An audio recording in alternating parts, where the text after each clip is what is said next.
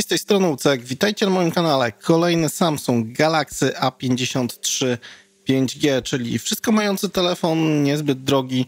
Myślę, że taki średniak y, dobrze wyceniony. Teraz jakieś promki na niego są. Cóż, zobaczmy, co potrafi i jak wygląda. Pierwsze wrażenia.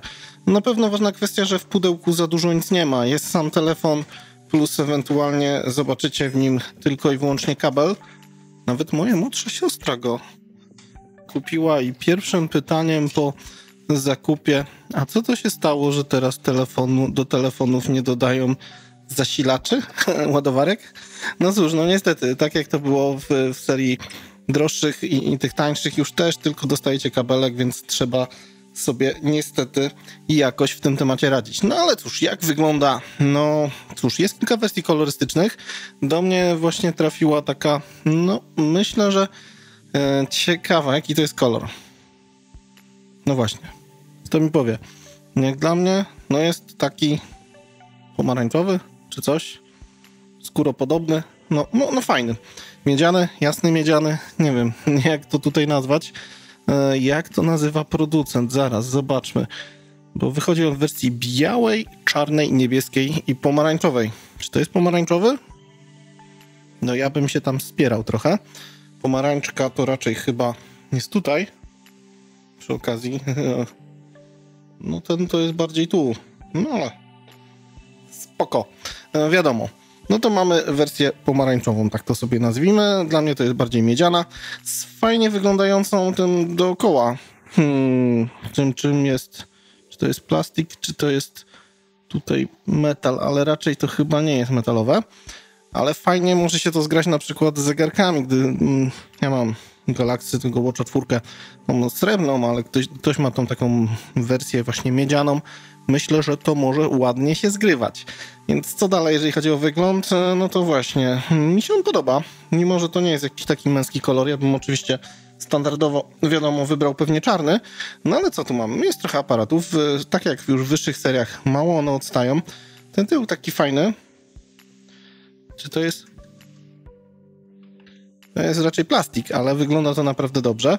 Od e, prawej strony głośność, przycisk power, od lewej strony praktycznie nic, od góry mikrofon, od dołu głośnik i właśnie port, jeżeli chodzi o możliwości e, rozszerzeń. Co tutaj mamy? No niestety już też tylko dwie karty SIM wrzucicie. A nie, sorry, kartę SIM microSD też wejdzie, dobra, źle zauważyłem. Więc no to jest dobre rozwiązanie. Jest uszczelka, no bo telefon jest certyfikowany IP67, jeżeli chodzi o wodoodporność, więc może być. Jest głośnik, oczywiście drugi gra ten, czyli jest stereo, no już w tych pieniążkach stereo to naprawdę moim zdaniem fajna opcja, jeżeli chodzi o, o tego typu smartfony. No i co? Na froncie ekran. Od tego sobie zaczniemy.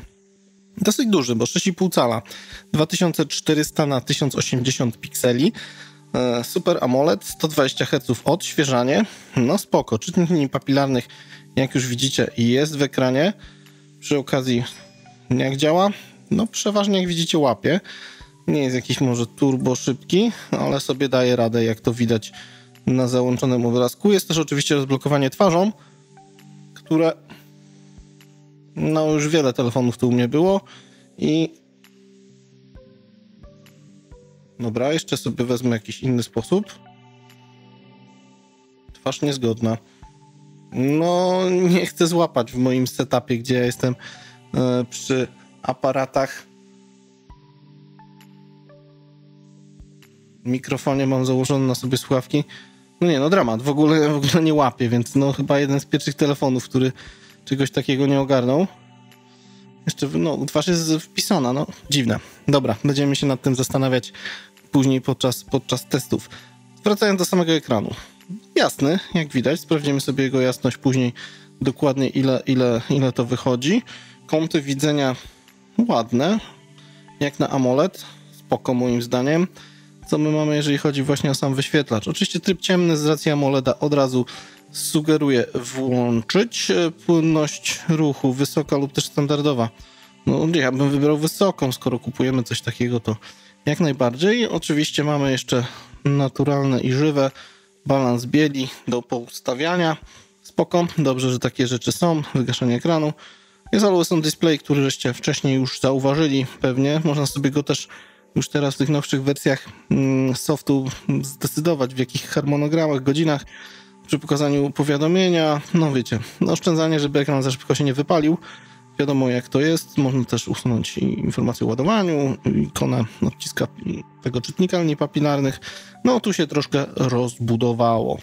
Jeżeli chodzi o właśnie jeszcze kwestię softu, co tutaj mamy, no Android najnowszy, czyli tutaj jest dwunastka, jak mnie pamięć nie myli. No co my tutaj mamy? Informacje o programowaniu. No dokładnie, zabezpieczenia 1 czerwiec, czyli całkiem dobrze. Nie ma jeszcze lipcowych, wersja One UI 4.1. Reszta to ktokolwiek, kto miał Samsunga, jest wszystko, co tutaj być powinno. Tu mamy Google, tu mamy listę aplikacji. Chcemy coś zrobić, wstrzymujemy widgety ustawienia, tapety. Jest wszystko tak, jak być powinno. Co jest sercem tego smartfona? Mamy tutaj Exynosa 1280, czyli 1280. E, co to za jednostka? E, mamy tutaj tak, dwa rdzenie 2,4 GHz i 6 rdzeni taktowanych 2 GHz, czyli rdzenie Cortex A78 i Cortex A55. Cały jest wsparty grafiką Mali G68 i 6 GB RAM plus 128, jeżeli chodzi o pamięć wewnętrzną. Trochę mało tej pamięci, no ale dobrze, że możecie wrzucić do tego właśnie otóż to o, kartę SIM, więc, e, sorry, kartę microSD, więc no pod tym względem to jak najbardziej dobrze. Następne tematy. Fotografia. Tutaj mamy trochę tych aparatów, jak widzicie. E, co tutaj mamy? Główny 64 megapikseli, światło 1.8, mamy ultra szerokokątny 12 e, megapikseli, światło 2.2. Mamy aparat makro, no ciekawe, który ma e, 5 megapikseli. Oj, coś nawet myśli, że coś szukam. E, I światło 2 i 4. Mamy oczywiście czujnik jeszcze głębiej, czyli e, e, no wiadomo, do, do jakichś tam zdjęć bokeh i tym podobnych tematów. E, też 5 megapikselowym ze światłem 2 i 4 i 32 megapiksele, jeżeli chodzi o frontowy aparat ze światłem 2 i 2. Co nam Samsung potrafi robić fotograficznie? To chyba sobie trzeba sprawdzić. O, widzę, że już nawet na dzień dobry podotykałem go trochę. Pamiętajcie, jak robicie fotki, dbajcie o to, żeby obiektywy były czyste. Na pewno się ucieszycie z tego, bo wyjdą wam ładniejsze. No i mamy tutaj kilka. Szeroko, standardowo, razy dwa, razy cztery. Ja sobie cyknę, będziecie później mieli to w filmie ze zdjęciami, to sobie zobaczycie. Co nam jeszcze on tutaj potrafi poogarniać? No mamy tryb portretowy, jest rozrywka. -hmm.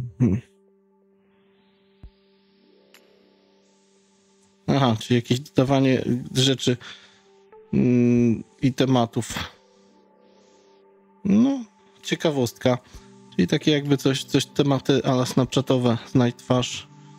Aha, no dla dzieci. Jak ktoś lubi, to można się bawić. E, cóż dalej? Jest oczywiście wideo, nagrywanie tutaj maksymalnie 4K, slow motion minimalne 720p w 240 klatkach. E, jeżeli chodzi o więcej trybów, jak widzicie, jest ich trochę. Zobaczmy sobie, czy jeżeli sobie nagrywamy cokolwiek, to możemy płynnie przechodzić między. A, nie ma płynnego przejścia między aparatami. Widzicie, z szerokiego kątu do standardowego już tak sobie nie przejdziecie. Jest ten taki efekt, nazwijmy to przejścia. Tutaj od standardowego możecie, a później wracacie na szeroki kąt i jest pyk. No, w niektórych aparatach jest to rozwiązane, że działa to płynnie. No tu jak widzicie w Samsungu tego nie mamy. Następne tematy. To co jest z tyłu, czyli bateria. Tutaj mamy 5000 mAh, jeżeli mnie pamięć nie myli. Dokładnie, dosyć dużo. Można to w miarę szybko ładować. Mm, dokładną specyfikację a na stronie trzeba zerknąć, bo, bo akurat tego tutaj nie, nie, nie podrzuciłem sobie, no ale spoko. Jest to na pokładzie. Z ważnych rzeczy, które jeszcze mogą Was oczywiście zachęcić do tego telefonu, to oczywiście jest stereo, jeżeli chodzi o głośniki. No to jak najbardziej jest rzecz na plus. To trzeba się tutaj z tego cieszyć, bo już w tak niskiej klasie jest. Oczywiście nie ma portu słuchawkowego, ale to już zauważyliście. Oczywiście e, kwestie związane z GPS, a GPS, Baidu, Galileo, GLONASS, wszystko jest. Bluetooth jest w wersji 5.1. Jest NFC oczywiście już też w zestawie kabel, jak już wam powiedziałem. No i praktycznie tyle. No cóż, potestuję, pobawię się. Taki ciekawy wydaje się średniak od Samsunga. Zobaczymy jak to wypadnie na co dzień. Jeszcze nic nie poinstalowałem, jeszcze nic nie porobiłem, więc no biorę się za testy. Niedługo cała playlista o nim. Chcecie coś o nim więcej wiedzieć? Oczywiście pytajcie. E, czekam na wasze komentarze. Ja zrobię to co zwykle z nim za jakiś czas. Więcej o Samsungu Galaxy A53. No więc cóż, tyle. Z tej strony Ucek. Trzymajcie się ciepło. Hej!